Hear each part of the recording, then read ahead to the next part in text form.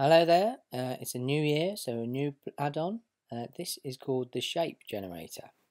Uh, so this is uh, a plugin that will randomly generate lots of different shapes, um, uh, lots of different extruded shapes of different lengths and sizes.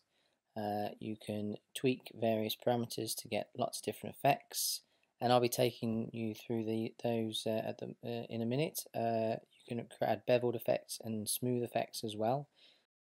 First of all, uh, just to show you how to install the add-on, go to User Preferences and the add-on section. Click on Install from File and navigate to the folder where you've saved the zip file. Uh, it should be uh, down here somewhere. Let's have a look. There it is. Uh, just select the zip file, click Install add-on from File, and make sure the checkbox is checked there and then click Save User Settings just to be sure it'll open next time you open Blender. Now you access the um, shape by the standard add menu uh, called Shape Generator and now I'll take you through some of the settings in uh, greater detail. So as I just said uh, you can access the shape generator through the add menu by clicking shift A and shape generator here uh, and uh, the standard extruded shape will appear. You can also add access it through the add menu along the bottom. So here it's created sort of a random extruded shape. So I just take down the amount of extrusions here down to zero, you'll see uh, how the add-on works.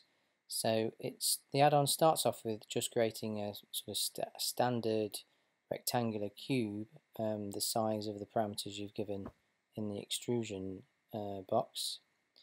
Now what I've done here is I've just disabled the mirroring for a moment and added uh, just one extrusion. So what this extrusion has done is uh, created uh, one extrude um, and it's given it a size between the minimum and maximum values in the extrude options here. So uh, by varying the seed value, the random seed value, you'll actually create different, slightly different extrusions that vary uh, between the ranges shown uh, there. So here I'm altering the taper settings as well. So the taper settings are the sort of the size of the end face extrusion. Uh, you can also adjust um, how, how much the extrusion rotates by here as well. Again, um, between minimum and maximum values. Um, so here if I start to increase the amount of extrusions slightly from 1 to 2, you can see that the add-ons randomly started adding extra extrusions that um, are transformed uh, by those minimum and maximum values randomly. So this starts to generate random shapes.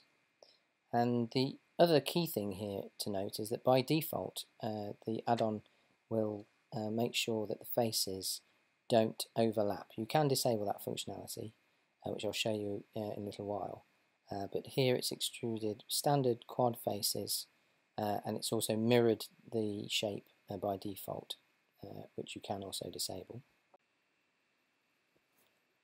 The next most significant option to talk about is um, the favor option in the X, Y and Z uh, direction. So what this does is gives you some control over um, which faces are randomly extruded based on the um, direction of the faces. So by reducing the value from 1 towards 0, the uh, add-on is less likely to choose those faces. So this is good for creating sort of maybe say slightly flatter shapes here so where I've reduced the Z um, favouring as it were to uh, zero. So here uh, I'm creating a lot of sort of flatter shapes. I've also reduced the X um, uh, value as well. So here you've you've got the add-on adding um, flatter shapes. So if I vary the seeds a little bit here you can see um, all those different combinations happening. The next option to talk about is uh, beveling the edges. So if I select bevel edges, it automatically adds uh, a bevel modifier. So if I um, go down to a sort of more simple shape here, you can see that it's actually added a bevel modifier to smooth out the side edges. So if I create alter the seed value, you can see that it's added a sort of uh, subtle bevel effect here to give a little bit more detail. Um, the next option is um, adding a subdivision surface modifier to smooth out the faces here. Uh, so if you uh, cycle through some of the seed values, you'll get um, a lot more organic shapes as well. I'll also show you the option to um, smooth by uh, smooth the faces as well in a moment, which is a checkbox, checkbox further down on the menu. So here I'm just sort of playing with the favouring values as well to create different sorts of shapes.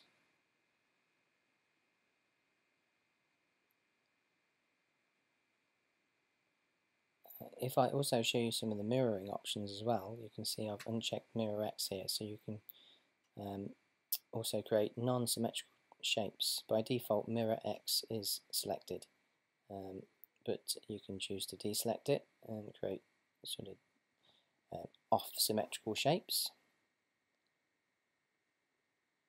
It's also worth uh, briefly talking about um, the subdivide edges option, which is set to zero by default, but if you want um, greater subdivision on the resulting edges, but you don't want sort of a smooth effect, you can increase this to say 1 or 2. If I tab in there, it's created extra intermediary edges, and you might want to, uh, to automatically add that to add uh, more detailing to the shape later on. So here if I just go back to the uh, mirroring options, if you mirror in the Y direction as well, you can start to see uh, symmetrical effect happening there. Uh, if I select mirror in the Z direction, you'll uh, also uh, see sort of a very symmetrical shape emerging and if I vary the seed values you'll get different effects which you can see there. I'll just put it back.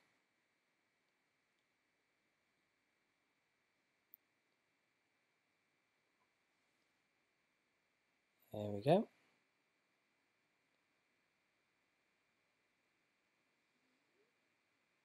So you can hear I'm sort of experimenting with sort of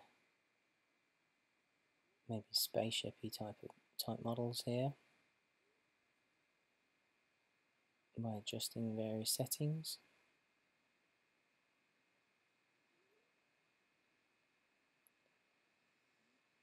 So there's just a few um, last few options to talk about here.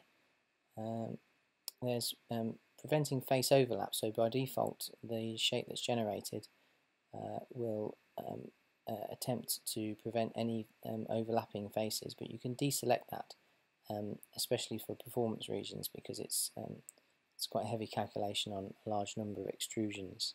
And you can still get some interesting uh, shapes, they'll just have uh, create meshes that overlap uh, which might not be ideal.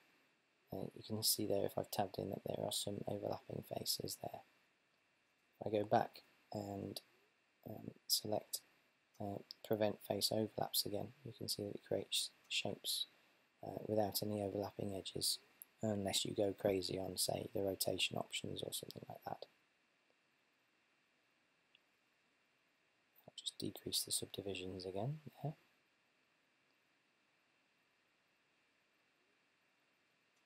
And the last few options here, uh, you can set the faces to smooth shading there, which is good if you combine it with subdivision surface modifier uh, to create more organic shapes. Uh, you can also flip the normals of the shape if you wish. This is quite good, say if you want the other side of the shape mirrored. Uh, you can adjust, say, the scaling to actually sort of the negative values. Uh, so you get the other side of the shape mirrored there.